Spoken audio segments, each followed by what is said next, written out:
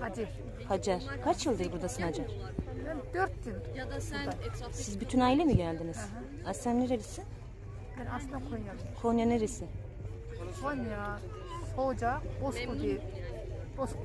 Kaç yıldır buradasın? Dört. Niçin geldin buraya? Vallahi ne için geldim ben buraya hiçbir şey için. İstanbul'da yaşam şartı zordu benim. Hı. Ondan sonra eşim hastaydı, rahatsızdı.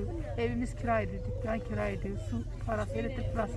Dediler ki Suriye'de dediler elektrik bedava, su bedava. Kim sana Teyze söyledi bunları? He? Kim sana bunları söyledi? Yani Öyle ne vaat ettiler de buraya geldin? Böyle dedi ben de geldim. Sadece Ben- yaşam koşulları için mi buraya He, ben geldin? çarşafım ama Türkiye'de de giydim. Daha ben belki 20 senedir çarşaf giyiyorum.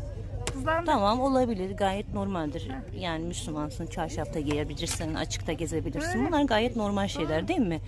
Yani buraya sadece temel yaşam şeyi için geleceğini düşünmüyorum. Yani kimse yani burada sana ne vaat ettiler ki burada ne var?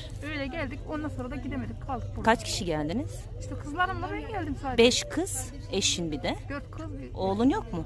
yok oğlum. Yok. Kaç yaşındasın? Ben 45. 45 yaşındasın. Nereleri gezdin burada? Buradan Nerelerde kaldın? hiçbir yere gezmedim. Ben geldim Ebu Hamam'a girdim. Ebu Hamam'dan çıktım. Eşin ne oldu şimdi nerede? Eşim rahatsızdı. Hmm. Vefat mı etti? Hı hı, onun kanser hastasıydı o. Hmm. Peki geldiğine pişman mısın buraya? Ben Evet. vallahi pişman mıyım? Pişman Ama gerçek söyle yani duygun neyse onu söyle. yani.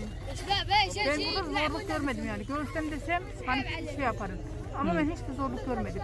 Bir köye gittim ben inekle, tavuğumla, ekmeğiyle, dikmeyle uğraştım. Hani Arapların misali. Mesela bir şey soracağım. Zorluk çekmedin diyorsunuz da. Mesela senin geldiğin topraklar başkalarına ait topraklar değil mi?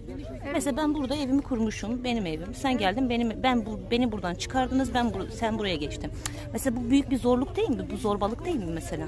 En büyük zorbalık bu değil mi? bilelim öyle zorbalık olduğunu? Ama senin bir memleketin var. E vardı benim memleketimde de evim yok. Orada da kirada kalıyor. Ama bu şu anlama gelmiyor ki gelip Suriye'de yer edineceksin anlamına geliyor.